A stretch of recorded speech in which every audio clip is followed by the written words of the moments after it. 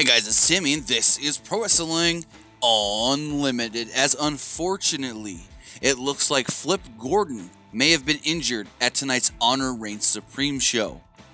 Ring of Honor had Flip Gordon taking on Tracy Williams at their show in North Carolina today.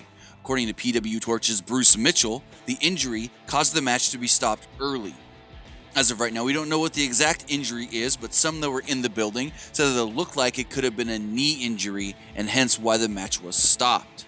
Flip Gordon has been signed with Ring of Honor since 2017 and is signed through the next couple of years. Flip Gordon is somebody that Ring of Honor really wants to, I guess you could say, build their company around as one of their big stars for the future.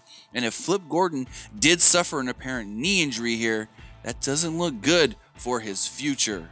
This would actually be the second injury in two days for Ring of Honor stars, as yesterday it looked like when they were filming in Atlanta, Chris Sabin suffered an injury as well.